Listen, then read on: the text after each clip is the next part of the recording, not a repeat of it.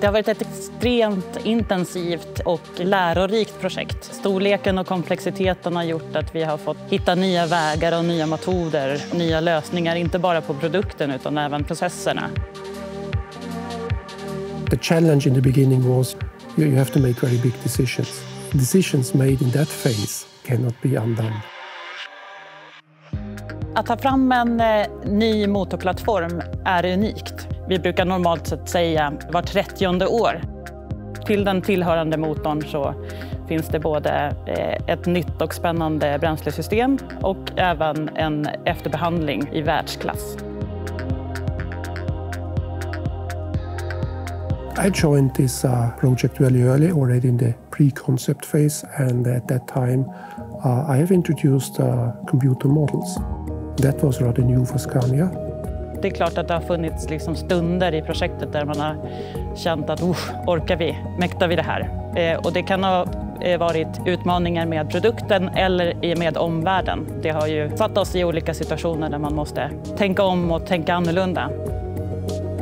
Facing problems on, on the way of the engine development, I think uh, that doesn't scare me away. I think this is a challenge for me. And uh, due to my curiosity, I go to the bottom of the problem. And I think with that self confidence, uh, I'm pretty sure that we can sort out the thing in time and also with the right solution. Jag tror det är jätteviktigt med, med engagemang och det tycker jag man märker också eh, med de man jobbar med, att, att alla folk gör inte bara det som liksom ingår i arbetsbeskrivningen utan folk verkligen gör, gör det de ska göra och så lite till hela tiden.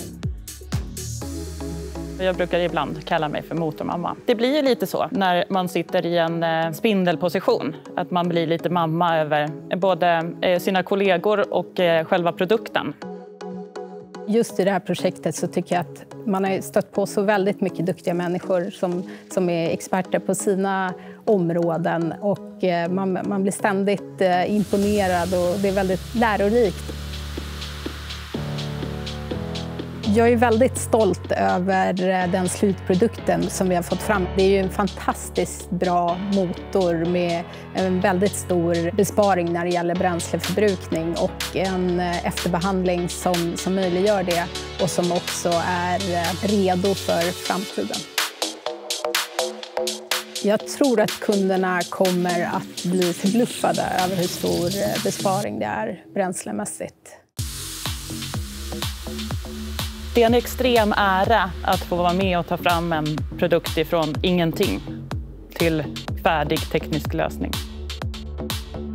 Seeing the truck then on, on the road, I think uh, then it will remind me that uh, this is my baby, which I helped to flourish and develop.